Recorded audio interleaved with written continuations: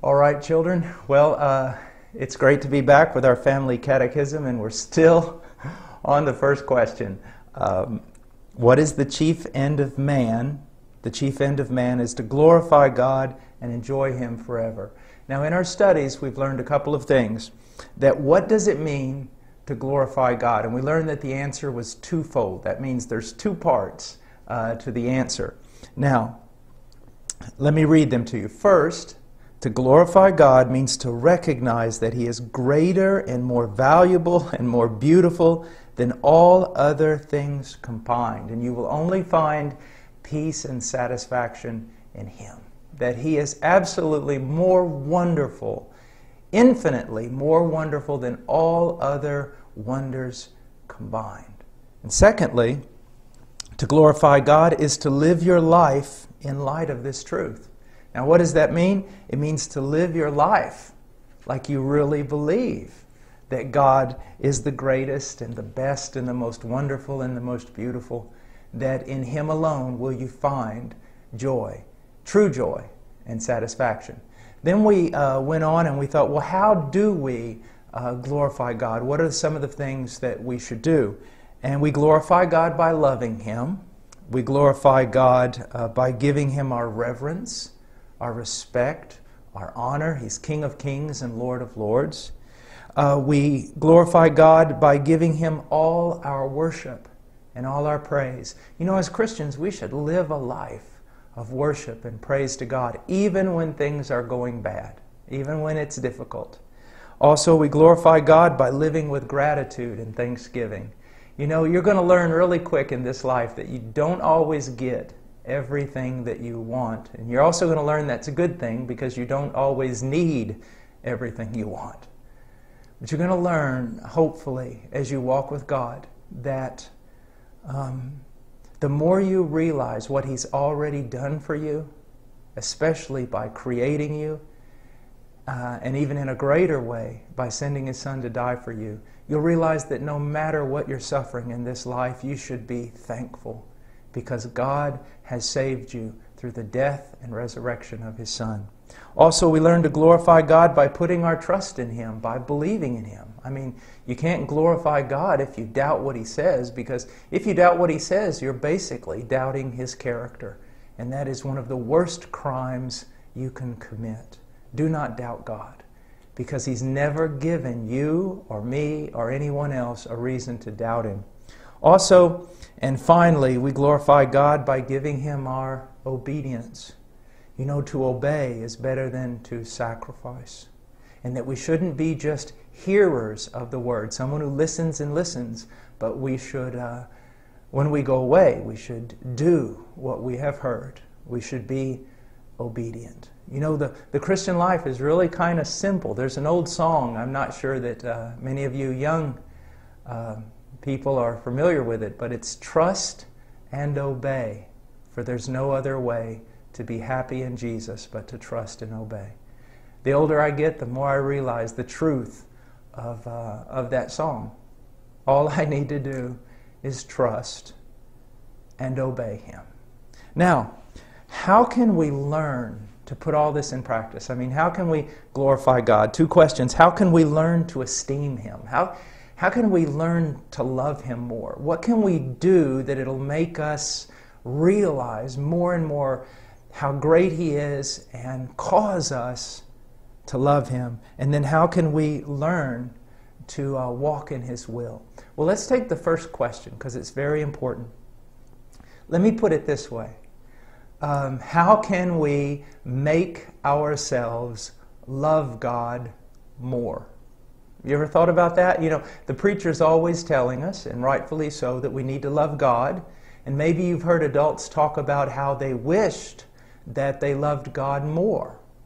Well, the question is, how do you make yourself do that? I mean, if you were on the floor, laying on the floor, and you wanted to get up, do you think that you could grab yourself by the belt that's around your waist and pick yourself up? You couldn't, could you?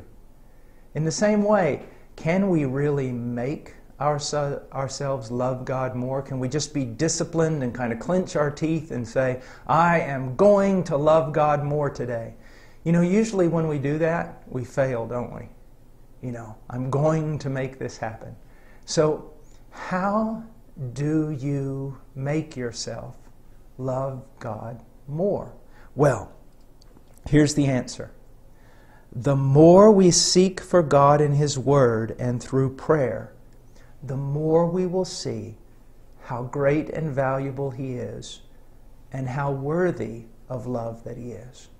You see, let me give you an example. I'm married to a woman that I love very much, uh, my wife. Her name is Charo. Now, when I first met her, um, I quickly grew to love her. And when we got married, I loved her. But many years have now passed, and I love her more. Now, how did I come to the point of loving her more? I love her more because I know more about her. I know more about the good things in her. And those good things that I discover are in her draws my love out of me. Okay? Now, I want you to think about God for a moment. How can you love God more? Well, you can't make yourself do that, but what you can do is you can discover more about the beauty and the power and the loveliness of God. And the more you know about Him, the more you will consider Him to be worth more than anything on the earth, and the more you will love Him. Now, let me try to teach you something that's going to be complicated, but I want you to listen to me. Um, what I've said is true, but you need to understand it properly. And parents, you may have to, may have to help me on this one. Um, the Bible says that every man is born with a, with a depraved or sinful heart. It means that we come, we are born, we come into this world um, doing wrong. Uh, no one ever had to teach you how to lie. No one ever had to teach you how to be selfish, did they?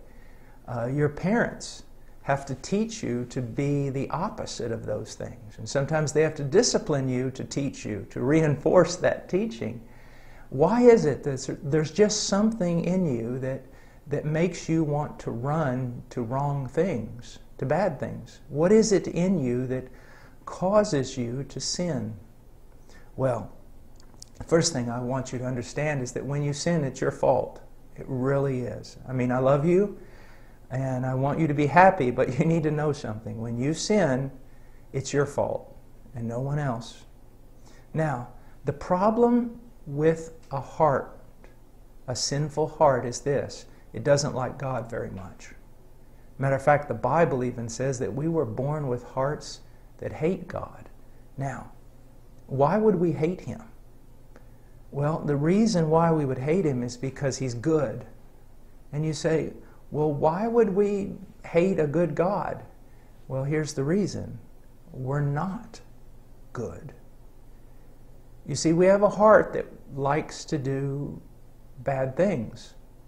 We have a heart that's very selfish. We have a heart that wants to be in the center of everything. We want everyone to look at us. And uh, we want our way. And everything should be just the opposite. God should have the center of all things. God, God should be the center of all things. And God should have His way done. What God desires is what we ought to do. And so sometimes what God wants and what we want are two different things. And when God tells us to do something we do not want to do, we get angry. Yes, even angry at God. Like when your mother and father may tell you to do something or stop doing something, and, and you get a little angry about it. You don't like it because they're telling you to go against something that you want to do. Well, here's the problem with a heart like that, a sinful heart, the more we see God, uh, the more we won't like Him. The more we see of how good He is, the more we will see how bad we are. The more we see how light He is, the more we see how dark our hearts truly are. You see. Now, the reason why I'm telling you this is all people are born needing a new heart. You need a new heart. And um, you can't give yourself a new heart. You can't. You can't take out your old one that loves to sin and really doesn't want to submit to God, and you can't put in its place another one that does. But God can. God can. You see, you don't just need to make a decision or change in a few places. Do you know that you need to be recreated?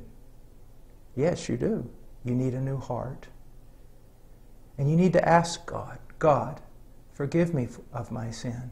And cry out to God that He would give you a new heart, that He would put a right spirit or attitude within you, that He would make you a person who loves Him and make you into a person who desires Him.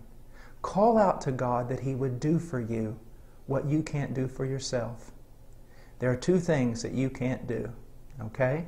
The first one is you can't pay for your sins. The Bible says that, that all have sinned and fall short of the glory of God, and that the wages of sin is death, eternal separation from God. And you can't remove your sin. Even if you wash yourself with soap, and you just can't do it. Can a leper change its spots? Absolutely not. Nor can you make yourself clean. But on the cross, Jesus carried all your sin, and when he died, he paid the price for your sin. You can't pay for your sin, but someone has. Jesus has. So trust in him. Like I said in the last lesson, if I die right now, I'm going to heaven. Why? Not because I'm a missionary, but only one reason Jesus died for my sins, and I trust in him. I don't trust in anything else. I don't trust in Jesus plus me or Jesus plus something else. It's Christ alone. But also, you need to realize not only can you not take away your sin, you can't change yourself, but God can. And how does He do it? Those who have believed in His Son, He has done something to them. And uh, I'm going to teach you a big word, okay? You might not understand it, but that's okay. He has regenerated those who believe in His Son. That means He has made them into new creatures. And I'm not just talking in a fancy way or, or trying to tell you something that sounds pretty or poetic. I'm talking about something that's real. If any person is in Christ, if anyone believes in Jesus, he becomes a new creature. Now, it doesn't mean that he's a perfect creature. It doesn't mean that he never struggles with sin. But what it means is he really is different. She really is different. Our desires change. You know, before I became a Christian, I didn't want to hear about God at all. And I did not want to do God's will. Are you that way? That's something you need to think about. But one day, someone told me about Jesus. And I began to look in the Bible and, and see are these things true? I didn't even know why I was so interested in it, but I was. And then one day I saw that Jesus was the Son of God. And when I saw that, I believed, but not only did I believe, I recognized that something had happened to me. My desires were different. Before, I desired to sin. I desired to do things against God. I didn't even desire God. I didn't care. But after that day, I began to hate the things that I once loved, the bad things I did. And I began to love the things that I didn't care about before, like knowing God and, and helping His people and serving Him. So here's what I want you to see. I told you that the way that you can make yourself love God more is to study more about Him. And what I'm, I meant that with regard to Christians. If you are a Christian, you truly have believed in Jesus, then the more you know about God, the more you will love Him and want to glorify Him. So, how do we make ourselves love God more? We just learn more about God. And the more that we learn about all the wonderful, lovable things about God, the more we'll love Him if we have truly believed in his Son. Now, let me give you a verse that's very important. It's one of my favorite verses in all the Bible. Thus says the Lord Let not a wise man boast of his wisdom, and let not the mighty man boast of his might. Let not a rich man boast of his riches, but let him who boasts boast of this, that he understands and knows me, that I am the Lord who exercises loving kindness, justice, and righteousness on the earth. For I delight in these things, declares the Lord. That comes from Jeremiah 9, 23 through 24. Now, let's look at what it's saying. It says, first of all, thus says the Lord. Whenever you hear that, children, uh, or you read it in your Bible, it's important. The, God wrote the entire Bible, and it's all important. But when you hear God in the Old Testament say, Thus says the Lord, or you hear Jesus say, Truly, truly, I say to you, then you need to lift your ears up and you need to think, man, this is going to be important. Well, it is. He says, Thus says the Lord, let not a wise man boast of his wisdom. Are you very smart? You may be able to do all kinds of stuff, like uh, you, you can write very well, you read very well, you do math very well, and maybe even you know a lot of things about the Bible. But the Bible says, let not a wise man boast of his wisdom. Wisdom is not the most important thing, even though it is important. And it says, let not a, the mighty man boast of his might. Maybe you're a young guy and you got muscles and you can do all sorts of things and you play baseball and football and you can run faster than a deer. Well, that's all wonderful, but that's not the most important thing. Not at all. And if you think it is, well, let me just tell you, you, you are wrong. You are very wrong. It's not. It's not. So to be the smartest man is not the most important thing. To be the strongest man is not the most important thing. And then it says, let not a rich man boast of his riches. Money is pretty important in this world. Uh, it's probably what most people think about the most. But it's one of the least important things in this world. It is. It can't save you from your sin. It can't make you happy. It can't change you and make you into a better man. Okay? It can get you in a whole lot of trouble, and it can become a God in your life. But rich men are not supposed to boast that they're rich. You know, we hear that somebody's rich in town and we just ooh and we ah and think, wow, he's a rich man. God says, doesn't mean anything. Okay.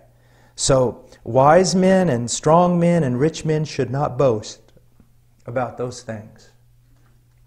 So, what should they boast about? But let him who boasts boast of this, that he understands and knows me. The greatest thing that you can know is not a thing, it's person, it's God. And you know him through the Word.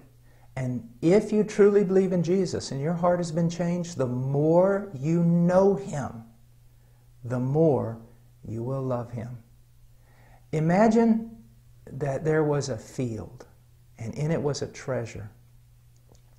And the treasure went on forever and ever down in a cave. And you looked at the first diamond and you thought, wow, that is beautiful. I want to buy this field.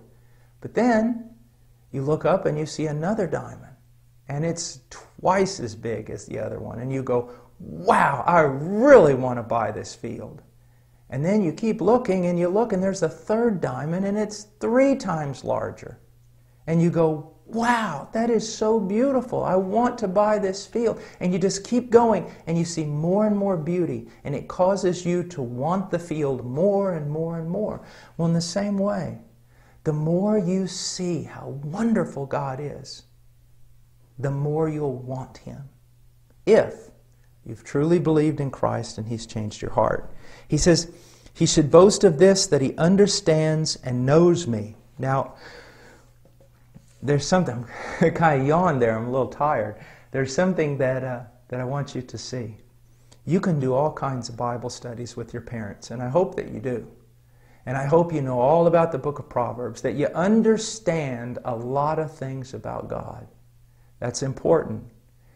But you can understand a lot of things about God and not know God. You see, even though you're little, if you've trusted in Christ, if you've really come to know Jesus and put your faith in Him, then you have what we call a personal relationship with Him, a friendship. And He can be closer to you than anyone else. He can. And so I don't want you just to know a lot of facts about God, like maybe you do in your history book or when you study math.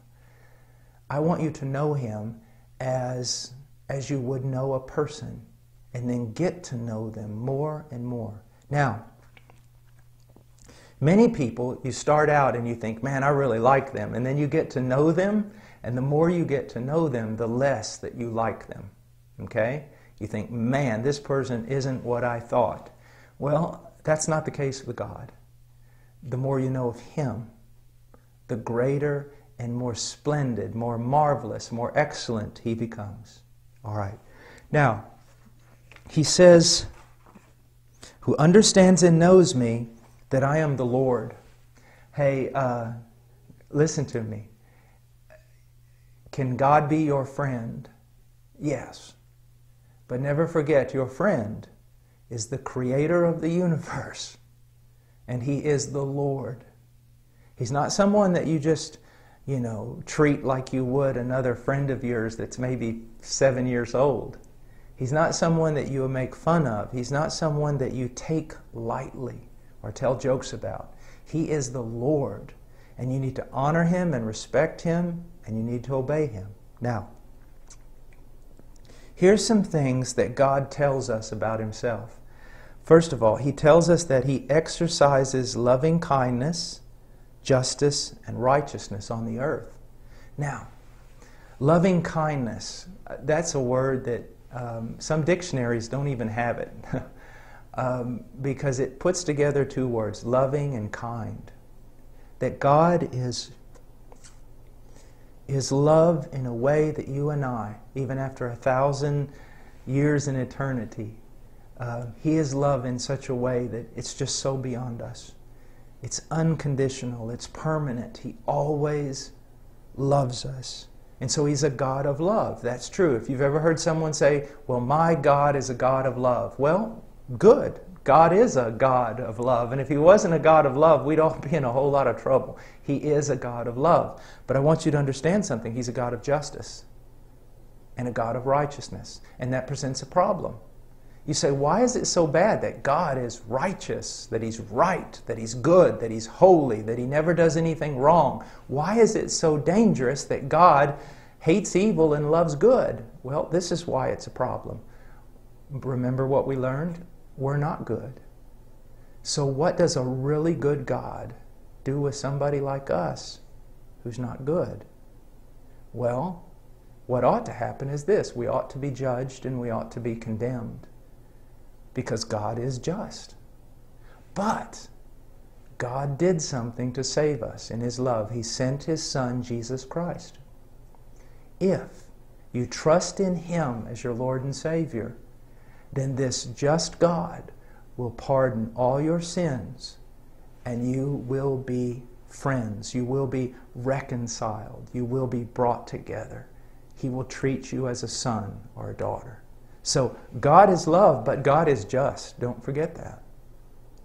And the only way we can have a relationship with God is by what His Son did for us. Justice cried out that we die. The Son came and died in our place. And by faith in Him, we can have a wonderful relationship with this God and we can know Him. Now, here's something else that I want us to look at. Um, well, before we go on, it says, He is a God who exercises loving kindness, justice, and righteousness on the earth. And then He says, For I delight in these things. What do you delight in? What makes you excited? What are you happy about? Well, you can be happy about all kinds of things. I'm happy about sunsets and beautiful rivers and forests and oceans and all kinds of things make me happy. My little boys are happy about Legos, and my little daughter is happy about new dresses. Um, all that is fine. But you need to learn to delight in the things and to love the things that God loves most. First of all, uh, you should love God most. And then you should love the qualities that God has, the character, the life that He has. Uh, God is a God of justice. You ought to love justice and delight in it. God is a God of love. You ought to delight when you see love. God is a God of mercy. God is holy, holy, holy, and you ought to delight in holiness. You ought to want to be holy like God is holy. Learn to love the things that God loves. Now, how do we do that? Well, the more we seek for God in His Word and through prayer, the more we'll understand His will and the more we'll know how to live according to His will. Now, to, to glorify God is to worship Him, have gratitude, to praise Him, to want to be with Him, and to, to uh, pray to Him, but it's also doing what He wants. And He wants the best for you, children. It's not like God is commanding you to do all these horrible things that's going to make your life miserable. Not at all. God, His will, His commands are good. They're like honey, they're like light, they're wonderful. They protect us, save us, and give us all kinds of joy.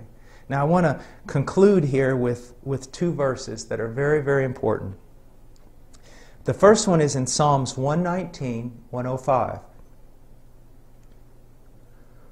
The scriptures say, Your word is a lamp to my feet and a light to my path. All right, now I want you to think about this. And I think we may have used this illustration before, but we'll use it again. Let's say you're in a room and there's all kinds of trap doors in the room, but you don't know where they are. If you step on one, you'll fall straight through, or maybe it'll blow up or something. Okay? And you're in the corner of the room and you've got to come all the way across the room.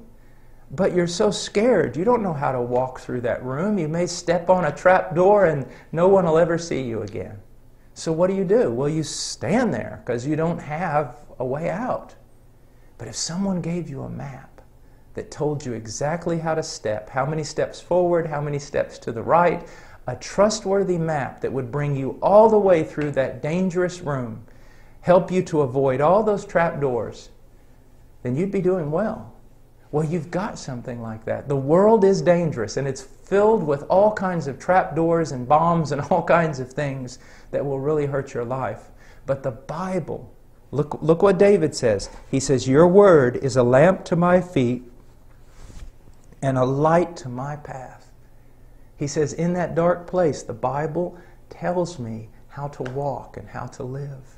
You need the Word of God. You need to study the Word of God. Parents, uh, you should be listening to this. You need to study the Word of God and teach the Word of God to your children. Please, this is one of your greatest privileges and responsibilities. You say, Well, Brother Paul, I don't know the Bible. Well, then get knowing the Bible. You need to study the Word of God together. All about the gospel. Also, throw some Proverbs in there, everything else. It should be the, the goal of your home to go through all of the scriptures before your children leave home. Uh, one of the things that I, I'm trying to do is to work through line by line every verse also of Proverbs each year that when they leave my home, they've gone through Proverbs quite a bit. But again, um, teach them the principles, teach them the commands, but you've missed everything unless they see the glories of Christ. He says in Psalms 86:11, "Teach me your way, O Lord, and I will walk in your truth. Unite my heart to fear your name." Now this is very important because we see some things here that's just not about you and me, but it's about God and what we need. It says, Teach me your ways, O Lord. You know, the Bible, you need to read it. And uh, it's a pretty clear book. But you need God to help you. And you need to pray, God, teach me your ways. Teach me how you are, who you are, what you desire from me. Lord, you teach me because I do not have the ability to teach myself. And He has promised to send us the teacher which is the Holy Spirit. So we need to pray and ask God to teach us. And He says, And I will walk in your truth. We shouldn't just learn so that we have big heads and we're really smart. The reason why we want God to teach us is so that we will walk in His truth. Remember what James says it's not enough to be a hearer of the word, but we're also to be doers of the word. So, what does it say? Teach me your ways, O Lord. I will walk in your truth. Lord, I'll walk in your truth. Teach me. But then he says, Unite my heart to fear your name. And he's saying, Lord, if I am going to walk in your commandments, it's going to be because I fear you. But you're going to have to work in my heart so that I learn to fear you. You see, young person, we need to cry out for God to help us because we need His help in everything. God must work in order that we become a Christian. God must work in order for us to grow as Christians. And so, one of the things here we see that's so important, it's not just you saying, Well, I'm going to study God's Word and I'm going to know it. You need to realize that the only way you can know God's Word and obey God's Word is by God's help in your life, by the Spirit of God. And so, you are a person who is completely dependent upon God. You need Him for everything. I always tell my little boys to breathe in, and they breathe in, and I tell them to breathe out, and they breathe out, and I say, Who gave you that breath? And they say, God did. And I said, So you cannot even breathe without God's help. You cannot do anything else without God's help. All right, well, I hope this is has, um, has been helpful to you. What we're going to do in our next session is we're going to study what does it mean to enjoy God forever? What does it mean? How do we do that? How does it happen to us? Well, until then, I pray that God will bless you in everything that's according to what He desires for you. God bless you. Bye bye.